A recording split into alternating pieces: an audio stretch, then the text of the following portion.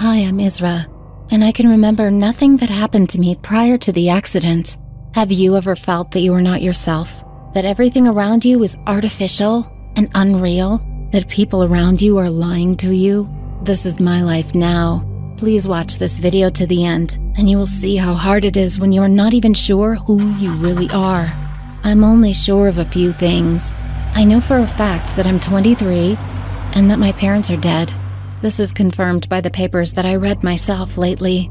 I don't remember any of this, neither my mom and dad, nor even a single birthday party. The last actual memory that I can recall is a steering wheel in my hands.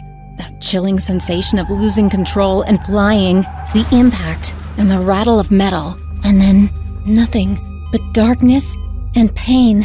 When I first woke up, I had no idea what was going on. I felt my body as if it was not my own. I could hardly understand what was happening. I had a tube in my mouth. I felt so weak. I couldn't see their faces clearly. Everything was blurred. They noticed that I was conscious, and one of them ran to me. Molly, can you hear me? He asked. And then my world collapsed again. The second time I woke up, there was no medical appliances around anymore. A man I didn't know sat next to me, holding my hand gently. Isra, darling, he said. Finally, you're awake. Who, who are you? I asked. I'm Trevor, your husband, he replied. But I couldn't remember being married. I saw this man for the first time. But then again, I couldn't remember anything at all. I was not even sure that Isra is my real name. It sounded so weird. I was injured in the accident badly. The recovery took long, Doctors told us that after such a severe concussion, those gaps in memory are normal and shouldn't surprise us. Trevor came to see me every day, brought me photos. We were talking about my past, but I still had no recollection of anything. It was awful. Trevor held on and tried to support me on my rehabilitation. But that name, Molly, it was haunting me, and for some reason, I didn't dare ask Trevor about it. As I started to recover, police came to me. They were investigating the accident. They suspected that the car accident was rigged by someone. Moreover, remains of another person were found at the crash site. But I couldn't tell them anything. All I knew was what Trevor had told me. The car fell off a cliff, rolled over several times, and caught fire. I was able to get out. Was there someone with me? Who was it? I don't know. I can't remember. Over time, I got better, but still felt completely disoriented. Trevor took me home. We had a nice little cottage and two cats. The cats sniffed me and hissed at me. Trevor laughed and said it was probably the smell of my medication. I had to start from scratch. My parents died about five years ago, so unfortunately, there was no one to ask about my childhood. I couldn't forget about the other person in the car, but Trevor told me not to worry and let the police handle it. I felt guilty. Trevor tried so hard, but I didn't feel anything for him, or for this house, or for this life. Well, at least I started getting along with the cats. It turned out that I graduated from college recently and now work as a teacher in a junior school. Doctors advised me to return to my normal life as soon as possible in order to bring back my memories. The school administration wanted to help me. The classes were taught by substitute teachers, but I came to the class, talked to the children, read the academic curriculum. Did I write those lesson plans with my own hand? Did I really give marks to these lovely kids? My head is spinning. One of my students asked how my twin sister was doing. I was stunned. The girl said she saw me shortly before the accident in the other town with my twin. We were eating in a cafe and arguing. I asked Trevor if I had a sister. He said no, and became very grim. As time went on, physically I was all right. My memories remained locked, but I started to get new ones. Together with Trevor and our cats, we celebrated my 24th birthday. We started dating, and I realized that I was beginning to fall in love with my husband. I may never get my old self back again, but that doesn't mean I should give up on life. It doesn't mean that I can't start from scratch. I mean, right? Then one day, when Trevor left for work for a few days, a man with flowers met me after school. Molly, He exclaimed. don't you recognize me? I'm Dick, your husband. I was terrified. Who is this madman? But his face looked familiar to me. I knew him from somewhere. And the flowers in his hands, the daisies, there was something about them. I got a terrible headache. I stumbled, and the stranger, Dick, caught me up and led me to a bench. He kept saying that I was Molly, his beloved beauty, that Trevor didn't let us meet because he knew I'd remember everything. I was so confused. Can it be that Trevor was lying to me all this time? But why? Dick said that I received an inheritance from my aunt recently, and Trevor wanted the money. I couldn't believe it. How could my sweet, gentle, caring Trevor do such a thing to me? It felt like I couldn't trust anyone, neither Trevor nor Dick. Even if his face evoked some kind of response, I didn't know what to do. I asked Dick to take me to the house where I currently lived. Dick was not happy, but obeyed. At night, I had a dream of my reflection, all bruised and in tears, surrounded by daisies. Is that me? Is it Molly? Who am I? Am I really Molly? Or am I Isra? Have you ever looked in the mirror and wondered who you are? In the morning, I woke up determined to figure out what was going on. I went through piles of old photos. I hoped something would spark some memory, but it didn't help. Then I got into my car and drove to the other town, where my student had seen me before the accident. I found that cafe, ordered a coffee, and started looking through the window. It seemed to trigger some memories. This place looked familiar to me. Oh, Molly, The owner of the cafe called me. you haven't been here for a long time. We started talking. I told her that I'd got in a car accident and have a memory loss now, and she told me that I used to live in this town. I often came to drink coffee here. And I had no husband. What about Dick? I asked. Dick, The old lady raised her eyebrows. good grief, honey, how did that scoundrel find you? I got a headache again. The old lady told me that the first time we met, I ran into this cafe and asked her to hide me from a guy who was angry at me. My headache became worse. And what about my sister? I asked. I'm not crazy. The old woman confirmed that I have a sister, or had, and that my sister was trying to convince me to break up with my boyfriend. So I am not Isra? Am I Molly for real? Could it be that Trevor was actually wrong? I thanked the old lady and went home. Trevor came back. I asked him about Molly and told him what I'd learned in the other town. He got angry. He shouted that all our troubles were because of my sister and her boyfriend, that if it wasn't for her, nothing would have happened to me. Why did he lie to me? How could he keep in secret such an important part of my life? I didn't know what to do. I decided that I should move out of Trevor's house. He didn't hold me, only asked me to keep in touch with him. I asked who my inheritance was from, and he looked so genuinely surprised. There was no inheritance. The money that Molly and I, or Isra and I, inherited after our parents' death, we divided in half. Mine were spent on college, while she invested her funds in real estate. It seemed that Trevor either didn't know about the inheritance or was a very convincing liar. I couldn't trust him anymore. I lived on my own for a few weeks. I began to remember my childhood, my parents, but my sister and I were almost always together. I couldn't tell if I was Molly or Isra. Dick tried to pick me up after school again. I told him to go away and threatened to call the police. He got mad and promised that I would regret it. A couple of days later, my car brakes failed. I almost got into an accident again. Survived only thanks to the airbag. I lost consciousness. I woke up in the hospital again, but now I remembered everything. I am Isra.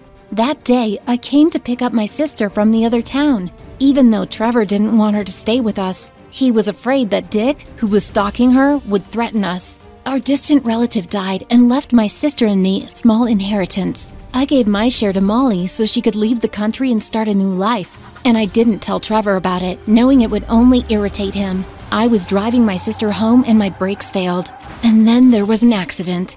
Dick got arrested. He was the one who messed up the brakes both times. Trevor didn't want to tell me about my sister. He was afraid I'd want to deal with Dick myself. Or maybe I could blame him for my sister's death. It took me a long time to forgive Trevor for his secretiveness, but we finally made up. Sometimes I still wonder what if I'm not Isra, but Molly? But I guess I'll never be 100% sure about my true self ever again. Who would you believe if you lost your memory? Tell us in the comments. If you enjoyed this story, please like it and YouTube will show it to other viewers. Subscribe to the channel not to miss more interesting stories. In the evening, I arrived at the address the detective had given me. As soon as I went inside, I saw homeless people in dirty clothes on the floor. Was this a flop house? One of them grabbed my arm. I looked closer and recognized him. That was my husband, Jim. The fact is that a year ago, he went on a business trip and disappeared. To be honest, I wasn't even upset because we hadn't talked much lately. He was always in his laptop and I had zero attention. Jim was the genius of IT, created some program, sold it to a large corporation, and became a millionaire, but he hid all the money. And he always said that all the most valuable things should be kept in a safe. I tried to get his code, but Jim was adamant. When Jim disappeared, I honestly wasn't even upset. I decided to find someone who would appreciate me. I started going to clubs and met a nice actor named Robert. He liked to hang out, not like my hubby Jim. However, the money quickly ran out from such a life. Then Robert suggested hiring a private investigator and finding Jim. That was the only way to know the code to his safe. And today, finally, a detective found my husband Jim. Only he didn't say he was a bum now. I needed to find out the code for the safe from him. But I didn't want to do it in front of everyone, so I barely tore my husband away from the other homeless people. Took him outside and pushed him into the car. Jim protested and said something, but I didn't care. On the way, I didn't let Jim get a word in, just told him how much I suffered without him. I also added that I had spent all the money on the detective, and now we needed the code to the safe to pay for all the expenses. But Jim suddenly interrupted me and asked who I was, and what kind of safe I was talking about. I stopped the car abruptly. How is that? I'm your wife. Are you having blackouts? Jim said nothing. At home, I immediately took him to the safe. Well, what are you looking at? Dial the code, just four digits. Jim pressed something, but the code was wrong. I don't remember anything. Nothing at all, Jim said softly and sadly. So he really had blackouts? What a surprise! I had no money for a doctor, so I decided to try it myself. Showed him a photo of us together, which was on the table. It's me, see? I'm your wife. Come on, remember. Suddenly, he smiled enigmatically and said that he remembered the photo. Looked like we went on a catamaran that day, together. Well, we did that, and what? And then Jim looked at me carefully. I came up with a code for the safe from the numbers that mean important events in my life. And it seems that it was during the walk that I came up with the first number. Hooray! Then tomorrow morning, we'll go to the park. I will help you remember everything, dear. Just don't forget to wash up. I sent him to bed. What a klutz he was. Soon, Robert and I would take all his money, and we would be happy. In the morning, Jim was waiting for me at the car. He was clean, clean-shaven, and stylishly dressed. It would be better, of course, to remember the code and be done with it. In the park, Jim took me around some address and bridges. Yes, Jim, it's so beautiful, but maybe you can remember the first digit of the password. But Jim suddenly took it into his head to ride the decrepit catamarans. Gritting my teeth, I climbed into this boat. It was worth to have a tough time for the money. I had to dodge the spray flying from the wheels of the catamaran. Jim noticed how annoyed I was and deliberately swam even faster. Hey, what are you doing? You ruined my hair. I shouted for Jim to turn back to the beach immediately, but he was staring at some swans. I was running out of patience, and I was about to get up to speak when the boat lurched, and I fell into the water. Help me! I can't swim! I went deeper and deeper under the water, and the last thing I heard was a dull splash. When I woke up, I saw Jim standing in front of me, looking flustered. He was all wet and said he could barely get me out of the water. I immediately pushed him away. It's all your fault. The first digit is 2 like a swan's neck, Jim said happily. What? And the other numbers? But Jim just shrugged. Okay, at least that way. But now I needed a warm bath. At home, I locked myself in the bathroom and called Robert. I missed him so much. But he interrupted me and asked about the safe. When he heard that I hadn't got the code yet, he told me to hurry up. There was music in the background. I suddenly felt sad that he was hanging out without me, but I pushed those thoughts away, just a little more. When I came out of the bathroom, Jim noticed that I was sad and tried to hug me, but I pulled away. Better remember the code. We'll soon have something to eat. How could I help him remember the code? Got an idea. I took out our album and began to play the role of the worried wife. I showed him one picture after another. But Jim didn't react. How could he hmm. forget all this? And then he pointed to our picture from the Grand Canyon. It seemed that on this trip, he came up with a second figure. I decided not to delay and rented a Jeep and a Mexican guide. I hoped I was not wasting our last money, and he would remember the damn code. Three hours later, we were driving through the canyon, the guy talking cheerfully and Jim gazing thoughtfully at the scenery. When we stopped at the edge of the abyss, the Mexican suggested that we go out and take a photo. Jim was happy, but I was uneasy. The guy was looking at my bag in a strange way. As soon as Jim and I got out, I felt someone pushing me toward the cliff. Give me the bag or I'll push you over. The Mexican was coming at us. I looked into the abyss. One more step and we would fall. But suddenly Jim whispered, Don't be afraid, and abruptly knocked the guy to the ground. Jim, what are you doing? While he was trying to restrain the Mexican, I began to call for help. But when I turned around, all I saw was the guide running away. Jim ran up to me and asked if I was hurt, even though he had a split eyebrow. And then I remembered that when I married Jim, he didn't have much money yet. But I knew I was always safe with him. Jim took my hand and said, Look at the sunset. I looked up the sky and was speechless. Because of this stupid Mexican guy, we almost missed this beauty. We sat on the edge of the cliff until the sun went down. I waited a long time, but Jim didn't remember anything.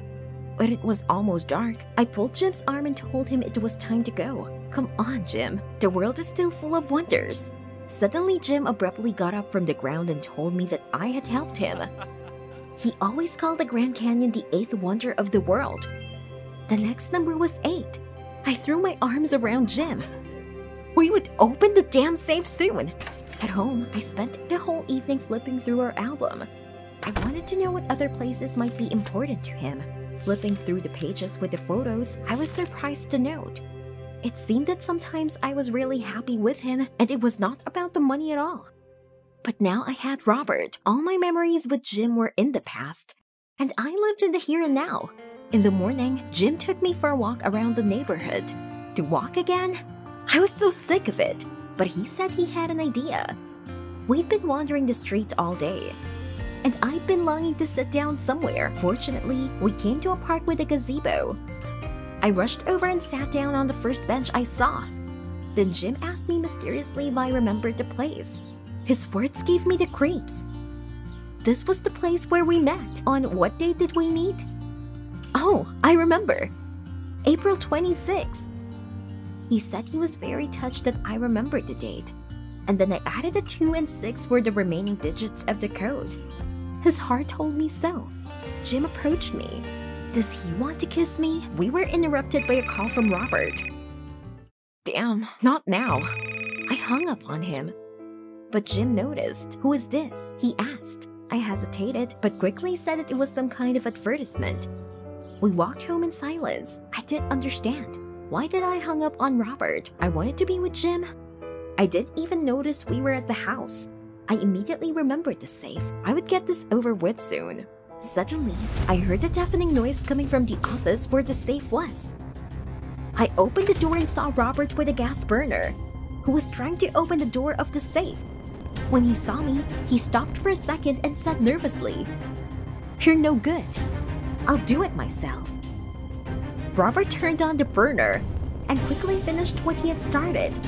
The door gave way and opened. Jim had been watching the whole thing blankly. Robert and I were stunned. We looked inside, but there was no money there. Only my wedding photo with Jim. Wait, wait! I turned to Jim and said, Is that what you call the most valuable thing? He smiled. My heart ached. Disappointed, Jim said that he had always kept the money in the basement. You can have it. It's in two old suitcases. And then he added quietly, I remember everything. But it's a pity that for you, money was the most valuable thing in life. Jim left. Robert ran happily down to the basement, and I couldn't move. After a while, Robert picked up the suitcases with the money from the basement and dragged me to the taxi. Hurry up to the airport before that jerk changes his mind and catches up with us, Robert said. In the taxi, I couldn't stop thinking. This picture and all the numbers in the code were connected to our memories. So, this was really the most valuable thing for him. Jim really cared about me. How did I not notice this for so many years? As soon as we arrived, Robert grabbed the suitcases with the money and jumped out of the taxi. Come on, get out, we have to go, he shouted angrily. But I was thinking, and I couldn't move. It was too hard to shut out my thoughts. Then Robert calmly said that he would go alone. After all, he finally had all the money, and then it became clear to me why he was trying so hard. In an instant, I slammed the door and shouted to the taxi driver, We're going back. I realized he really loved me all this time. No one was home. I was restless, but suddenly I remembered Jim saying goodbye to his homeless friends. Could I be there? I ran around the flop house, oblivious to the smell and the dirt. I was just about to leave when I noticed someone in the corner, and I came over quietly. It was Jim. I rushed to him and begged his forgiveness on my knees. What a fool I am, Jim. You loved me more than anything in the world. How could I not see that? I was sobbing, and Jim was holding me close and apologizing for not paying enough attention to me. When he remembered everything, Jim felt ashamed, and he decided to remind himself and me how good we were together, although we sometimes did not notice it. Without breaking our embrace, we left the flop house and went to the park, to our gazebo. And then Jim said, If you want, we can go to the club right now. But I already had a better idea. Let's have a hot dog and we'll walk in the park until morning. Did you like the video? Then subscribe and like it. Support the channel. Thank you. I was on one knee in front of my girlfriend Mia, and the whole restaurant was staring at us frozen. I asked in a trembling voice, Will you marry me? But Mia was suspiciously silent for a long time. I was already nervous. And then she sighed, I'm sorry, I have a new guy. The world seemed to collapse. Mia excused herself and ran out of the restaurant. Speechless, I slowly sat down on the chair. It never occurred to me that Mia would not only reject me, but also would cheat on me. In middle school, I fell in love with this short brunette with beautiful brown eyes. We started dating. When I went to college, she moved in with me. There wasn't enough money for everything. I got a job at an advertising agency. I had to work around the clock, and I started spending very little time with Mia. She certainly didn't like it very much, but I thought she understood everything. I tried for our sake. I wanted us to live well together and not need anything. I always told her that I loved her. Weren't words enough? And now when I finally decided to propose to her, Mia had a new guy. She left, and I just sat there. Finishing my third glass of wine, my heart was so heavy, so I dialed Zane, my best friend. Zane was trying to say something, but I wasn't really listening. I didn't even notice that I was walking into the roadway during the conversation. I was suddenly deafened by the car's horn. The last thing I remembered was a blinding glare of the headlights. When I opened my eyes, it took me a long time to recover. Was this a hospital? I had a terrible headache. I tried to remember what had happened, but then the door bursted open and a guy bursted in. When I looked closely, I didn't recognize his face. Who are you? He came up to me and, with a sigh, he blurted out, I'm Zane, your best friend. There was an accident. The doctor said you had a severe head injury and possibly partial memory loss. My stomach went cold with horror. Heck, Zane? Don't I remember his face? Wait, what about Mia? She must be worried. I took off running, but he shook his head and said sadly, I'm sorry, man, but Mia left you. It was like being doused with ice water. But how? I remembered how good we were together. I wanted to propose to her, but Zane told me not to worry. He would find a girl a hundred times better for me, the one who would truly love me very deeply. I smiled weakly and thanked Zane. Thank you for being here. I was soon released from the hospital and somehow got back to work. Zane immediately started a profile for me on Tinder with my picture on it, and some cute girl immediately wrote me. I thought it was a good attraction. We decided to meet in a cafe. I came there straight from work and sat down at a table. Once in this cafe, I ate pancakes with Mia. The memory warmed my chest. The waitress came up to the table and told me to get lost. I looked at the girl in surprise. Her brown eyes seemed familiar, but she suddenly turned around and left. This was the first time I had met such a rude waitress. Maybe I didn't remember something, but just as I was about to get up, a tall blonde from Tinder came up to the table. Her name was Cheryl, and she sat down across from me and immediately started talking about proper nutrition. Cheryl talked for about three hours, and I was yawning when I noticed the waitress standing next to the bar. She was watching us intently, and when she saw me looking at her, she turned away abruptly. What had I done to her? Cheryl kept talking, not letting me get a word in. I excused myself, got up, and headed for the door. I didn't think it was going to work out with her. And half an hour later, I was sitting at Zane's house and telling him about our strange date with a beauty from Tinder. I had to admit, I miss Mia. It was so good to be with her. Could we get back together? When Zane protested, Mia was a stinker. She cheated on me. I dropped my head, and Zane was right. Then his phone rang, and Sweetie appeared on the screen. He immediately excused himself somewhat nervously and walked away. Come on, Zane, do you have a girlfriend? As long as I can remember him, he never dated anyone. Because of this, the three of us often went out together Zane, me, and Mia. As soon as I thought of her, I felt sad again. So, wait, there are still a lot of girls on the ground. After waiting for Zane, I talked a little more with him and then opened my Tinder account. It was time to go on a date. Soon I was sitting in the same cafe, but the girl from Tinder did not appear. I waited for her for an hour, which I could have spent on work. Then the negative waitress walked by. She grinned and quipped that I looked like I'd been dumped. But before I could answer, someone stumbled into the cafe, screaming. I turned around and saw a drunk man. He staggered to the sofa at the next table. The smell of alcohol immediately hit my nose. The man whistled, looking at the waitress, and he grabbed her arm as she passed by.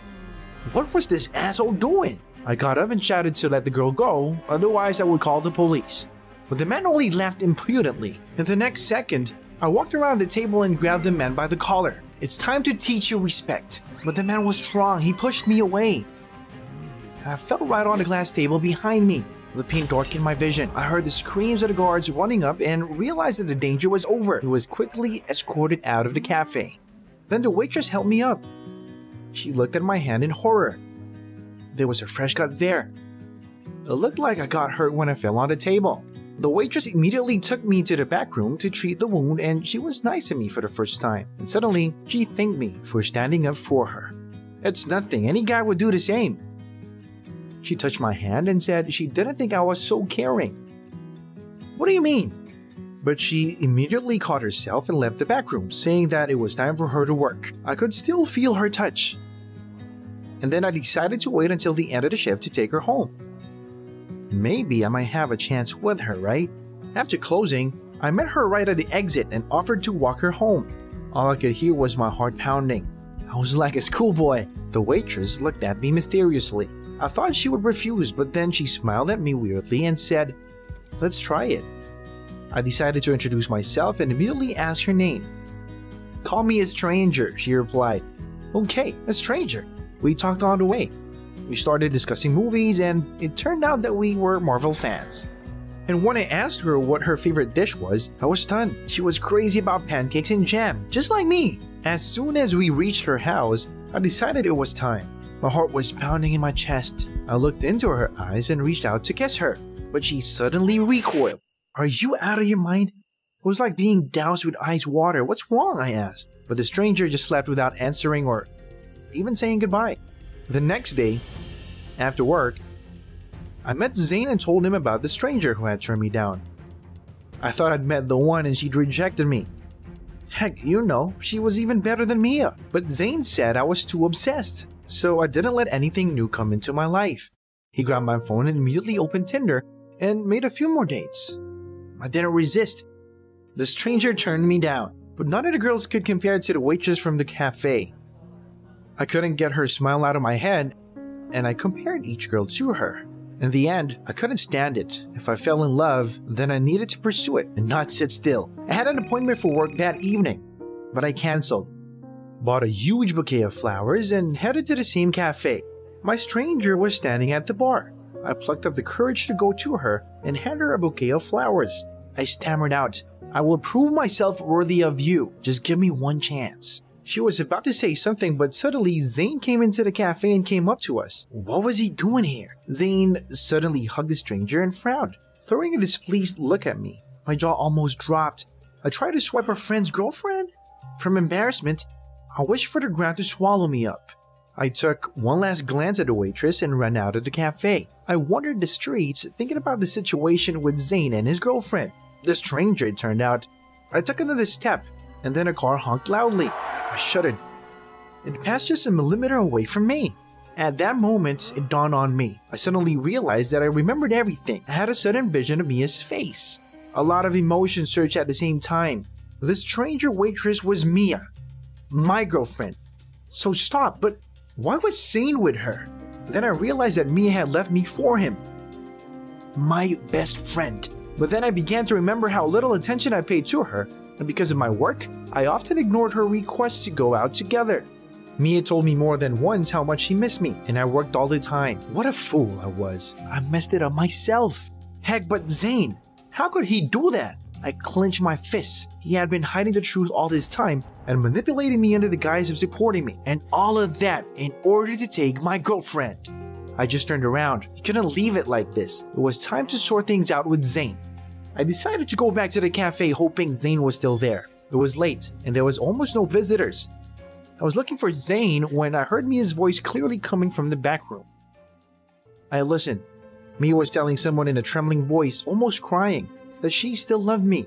In recent days, when I was courting her, she realized I was her destiny and that she regretted dumping me, and it happened all like this. And then I heard Zane's voice, who kept saying that he was better than me, that I'd give up on me again like I did before. Hearing his words, I threw open the door and walked in just as Zane pushed Mia. Mia!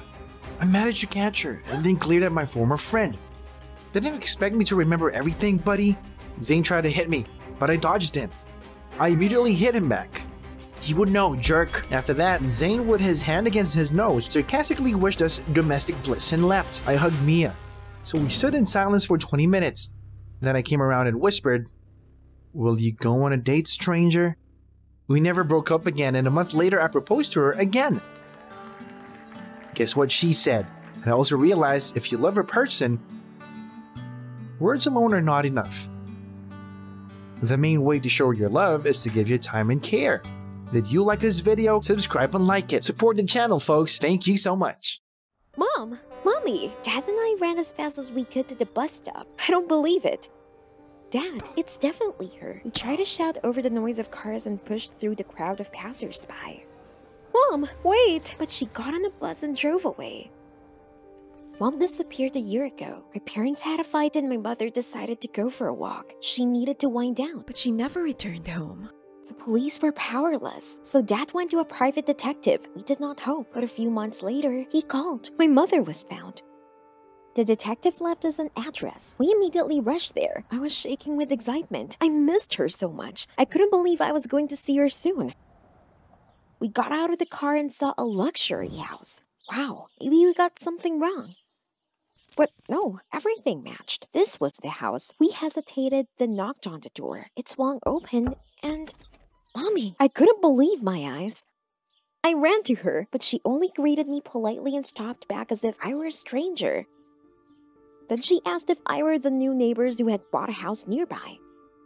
Neighbors? Mom, what's wrong with you? But she looked at us as if seeing for the first time. We had to say something, and Dad lied that yes, we recently moved to this nice area. My mother was delighted and invited us for tea. Inside, the house was even more luxurious. My mother led us into the living room and went into the kitchen. I took out our family photo to show her, but my dad stopped me and whispered to me not to do it. My mother came back with tea and cake. She said that she missed the guests. They rarely had anyone. I didn't know what was going on. It was like an angry prank. Did she hit her head or get sick? She really treated us like strangers. I was on the edge. I'm your daughter, Mom. Suddenly, a man in a police uniform came into the living room. Mom immediately quieted down. Then she caught herself and introduced us to Steve, her boyfriend. What? We couldn't believe it. Steve frowned and whispered something in my mother's ear. Mom apologized to us and immediately left. He was clearly not happy about Dad and me, and while my mother was away, he gave us a real interrogation. Where we live, why we came, we had to get out of it. Dad named a house at random. And Steve wanted to ask something else, but Mom came back and brought him warm slippers. She was clearly very nervous in front of him. Even her hands were shaking, although mom tried to hide it. Mom handed everyone another piece of pie, and Steve stopped her and told her sternly that it was time for dad and me to leave because mom wasn't in a position to receive guests. She needs to take care of herself. All the way home, we thought about what to do and what Steve had in mind. Was mom pregnant? We didn't know what was wrong with her. It couldn't be worse. Mom lived a different life, but it didn't look like she was crazy. Something must have happened to her memory. We decided to find a specialist to deal with this. We went to a psychologist and he confirmed our concerns. My mother had amnesia. She really forgot us, but the psychologist said that there was hope for recovery. She could be helped. He said to show her the memorabilia. It would awaken her memories of us. The main thing was not to tell the truth directly, otherwise, it might hurt her even more. We went to see her again. Dad came up with a cool move to give my mother a blue rose in a pot, the same as on their first date. Mom was happy to see us, but she wouldn't let us in. Steve was home. Nevertheless, my father gave Mom a flower, and they thanked her for the tea and cake. Mom was delighted with the blue color of the rose, she even said she'd seen one like it somewhere. Did she remember something? But then Steve appeared and abruptly asked us to leave. This time, he didn't even greet us. My mother tried to object, but he stopped her roughly. He slammed the door on us. We were walking reluctantly to the car when we heard the door open again. We turned around and saw Steve throw the flower out into the street. Mom was crying, but there was nothing she could do. Dad was about to go back and beat Steve, but I stopped him. We won't get mom back this way. Don't forget about our plan. I couldn't stop thinking about what I saw. How did she even get in touch with him? She was also pregnant with his child. I took her photo. My mother was beautiful in it. We were in the park that day eating ice cream. The park! We should have called mom to the park for a walk in her favorite places. Dad said it was a great idea. This was her favorite place in the city. The next morning, we watched the mansion from the car, waiting for Steve to leave for work. Then we immediately rang the doorbell. Mom was happy, but visibly nervous. She said that Steve was very jealous and Dad's gift led to a real scandal. We tried to talk her into going to the park, but she was afraid. Steve called home every hour to make sure she was there. Mom said sadly that she hadn't been out for a long time and was tired of staying at home. My father and I tried to persuade her. We promised that we would be back like Winky. We said we didn't know anyone here but her. She smiled and agreed to walk for half an hour. I was so happy. In the park, we went around all the paths and rides, ate ice cream. Mommy, I hope you remember how happy we were here. Suddenly, Mom pulled my bangs off my face the way she usually did. What if but then mother looked at her watch and a change passed over her face. She asked us to take her home immediately. I was a good girl, but she had to go. She had been with us too long. Steve would be angry. What an asshole. Steve had no right to treat her like this. She was not his property. Dad said that mom couldn't stay with this tyrant. She deserved better. Mom started to make excuses and say that Steve was very worried about her, but it was clear that she was very afraid of this scumbag. He was just a goddamn manipulator. I already reacted for the photo. I wanted to tell my mother as quickly as possible that we were her real family. But then we heard police sirens. Steve arrived. He was furious and shouted that my mother shouldn't have gone out. We had to leave. Dad whispered to mom to call us when Steve went to work. We would help her escape. Before mom could respond, Steve grabbed her arm and pulled her into the car. He shouted at us to get away from his family. Otherwise, he would arrest us. Dad was furious how this asshole behaved with my mom. I was shaking all over myself. But there was nothing we could do but wait for my mother to call. What if she didn't call? I tossed and turned all night and couldn't sleep because of these thoughts. But toward morning, the phone rang. Mom, she asked us to come and said Steve wasn't home. So she had decided to leave this asshole after all. We were at her house in a few minutes. The door was ajar. We knocked and heard my mother asking us to come in and wait for her to get ready. But when we were in the living room, we saw police officers in addition to my mother. Before we knew it, we were pinned down. This was horrible. I started to struggle and scream, No, let us go! Steve didn't go anywhere. He looked at us and grinned. It turned out that he found the house we were supposedly live. There were other people there, of course. Steve convinced my mother that we were scammers or thieves and asked her to draw us into a trap. It was terrible. My mother averted her eyes and tried not to look at us. I couldn't keep silent any longer. I began to tell my mother that we were not scammers. We were her family, and for some reason, my mother did not remember us. It was hard to speak, and tears were choking me. I wriggled out of the policeman's hands and tried to get the photo out of my bag with trembling hands. I so wanted my mother to see it and believe us. But as soon as they pulled out the photo, the cop pinned me down again, and he put on the handcuffs since I didn't understand on good terms. Heck, our photo! It was gone. I asked the policeman to look for it but he wouldn't listen. We should have gone to the station. And mom? Mom didn't even look at us. Like at the bus stop. We tried to explain everything to the police, but they told us that my mother should confirm our words. How? She didn't remember us. We sat in the station for five hours. Everything seemed pointless. We were desperate when we heard my mother's voice. She was looking for us, and she had a picture in her hands. Mom, we're here! I ran to her. She said it was all a big mistake. That I was her daughter. She remembered everything. We cried with happiness. When everyone calmed down a little, my mother told us that she remembered us as soon as she saw the photo. Mom tried to explain everything to Steve, but he got mad and locked her in the mansion. She only managed to get out of the back door when he fell asleep. Dad asked her how she was feeling and if the baby was okay. Mom didn't understand what he was talking about at first. And then she laughed out loud. She was not pregnant. The fact was that Steve was paranoid about protecting my mother. She often had migraines and dizziness. And at some point, custody became a tyranny. In fact, he was afraid that she would leave him. We were about to leave when mom stopped abruptly. She looked startled. Steve was standing in a dark doorway. His eyes were bloodshot. And he was shaking with rage and clenching his fists. Terrified, I immediately ran to the fire escape. I was chased by some bandits shouting, Give us your heart! Who are they? They were very close. There was no time to go down and I decided to jump. I landed right on the asphalt and in an instant, a hellish pain pierced my body. The bandits were already coming down to me, and I couldn't even move. Was this the end? Suddenly, a black car drove up to me. The door opened. I didn't understand anything. If you want to live, get in the car. The driver shouted. I woke up in an apartment somewhere. I looked around and couldn't figure out where I was. It was not that I didn't know where I was. I didn't know who I was. Hello? I shouted timidly, but there was no answer. Then I quickly walked through the rooms, but there was no one in them. I didn't remember anything at all. Hell, I didn't even know my name. In desperation, I walked from room to room. But suddenly my gaze stopped at the mirror. Was this really what I looked like?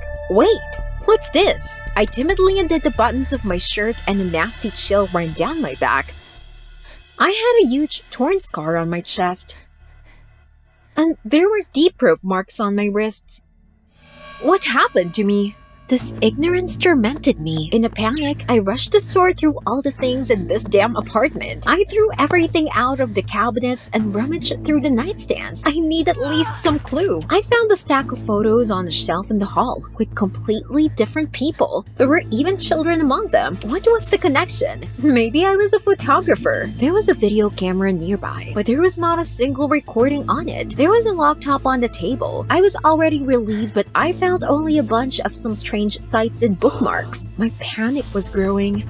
I wished someone would explain to me what was going on. Suddenly, I heard screams from the stairwell. A couple of seconds later, someone was already banging on my door. A cold sweat broke out on my forehead. I didn't know who it was, but I didn't think they'd come to help me figure it out. I didn't know what to do, but then the door lock turned with a crunch. I was numb. A gang of scumbags was looking at me from the threshold. One of them pointed at me and shouted, Give us your heart! Where to run to? I immediately rushed towards the fire escape. There were no other options. Thank God, I was on the second floor. The bandits were already very close. There was no time to go down. Then I closed my eyes and jumped. A second later, I was already lying on the asphalt, and my body seemed to be pierced by a thousand red-hot needles. I couldn't move, and these chilling cries were already heard above my head. Give us your heart. Mentally, I was already prepared for the worst. Was I going to die without knowing who I was? But suddenly I heard the roar of an engine. A black car stopped right in front of me. If you want to live, get in the car. I heard from the opening door. Gathering my strength, I made a dash, and in a second, we were already speeding through the streets of the city. Everything that had happened to me over the past few hours not only didn't fit in my head, it was like it was tearing me apart from the inside. Who was I? And why was all this happening to me? I wanted to ask the driver about everything, but I didn't even know where to start. He was surprisingly calm. Here, take it. My savior suddenly said, handing me a tablet. Perplexed, I took it. A video came on, and I saw people in business suits. One of them, I think, addressed me directly. He said that they had my heart. And now I had an artificial heart. They set a time, a place, and named the amount for which I could buy my heart. Damn. What? This was all some kind of big joke, right? I just refused to believe in this absurdity, but the driver was absolutely serious.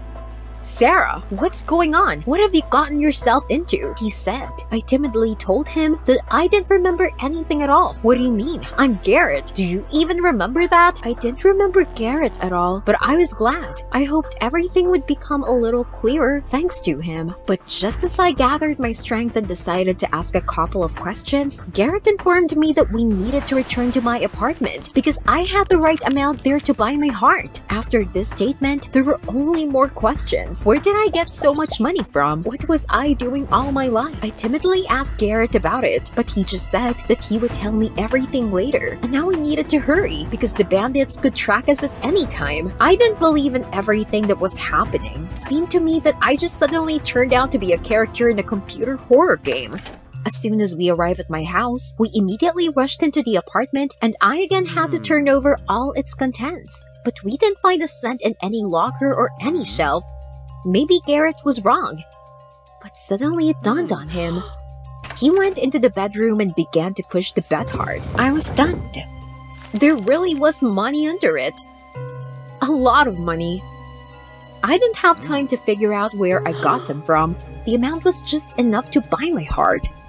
Garrett watched me closely as I hurriedly collected money into the first bag I came across. I was so grateful for his help, but suddenly I felt uneasy from this look. I asked if everything was fine. Garrett just sighed and said that his sister was kidnapped a few years ago, and when he was looking at me, he involuntarily remembered her. I felt incredibly sorry for him. He said it with such regret. They must have been very close. It was time to get out, but suddenly Garrett announced that his car had run out of gas. That's okay, we'll take yours. Wait, so I also had a car? Even more perplexed, I followed Garrett into the courtyard of the house and saw only a large white van that resembled a butcher's truck. So this was my car. Why did I need to buy such a monster? We got into the van. There was almost no time. We were late. Garrett hit the gas and we quickly drove to a meeting with people in suits from that video. I still couldn't understand anything. It seemed that I was just going on autopilot. We drove up to a rather creepy abandoned building. They must be doing their terrible things here. We hurriedly climbed to the last floor and were surprised. The room was well renovated and well lit inside, and the strangest thing was that there were dozens of cameras hanging on the walls. It seemed that they filmed every millimeter of the room, and in the very center of the wall hung a huge screen. I looked around and some remnants of memories stirred in my mind. Finally, apparently, I had already been here. Maybe this was where my heart was cut out. Suddenly, my eyes went dark and pain shot through the back of my head. I had time to look back. Behind me, Garrett was grinning, wiping my blood from the bat. For what? I woke up tied to a gurney. Everyone was standing around me. Everyone in general. Those people in suits from the video, Garrett, the bandits who were hunting me. What's happening? Garrett, what's going on here? He went to the screen and turned on the video. Unable to do anything else, I stared at it. The video showed the same white van, my car. It stopped in front of some gas station. Apparently, it was the middle of the night. Only one passerby was hurrying somewhere. Suddenly, several people in ski masks got out of the van. I didn't understand anything at all. They grabbed that guy, roughly tied him up, and pushed him into the van. What was this all about? But then one of them took off the mask, and I was under it. A lump rose in my throat. That's not possible. I couldn't do it. Tears came to my eyes. I looked at Garrett, and he just grinned again. That's not all. Other scenes flashed on the screen, but the plot remained unchanged. I and my assistants caught people on the streets and pushed them into a van. Some of them resisted, and then I also beat them. Everyone was there women, children, old people. This just couldn't be happening. How could I have been so cruel? Then the footage from this room appeared on the screen. I was doing surgery on these people. These scenes almost made me sick. I was choking on tears and I still couldn't understand anything. Garrett seemed to enjoy my desperation. He came over and bent over me. I couldn't stand his piercing gaze and looked away. In a chilling tone, he told me that for years I had been kidnapping people and doing experimental surgeries on them, purely out of curiosity. I also aired all this on the darknet, right from this room. He really had a sister, who also became one of my victims. No, no, no, it just couldn't be me.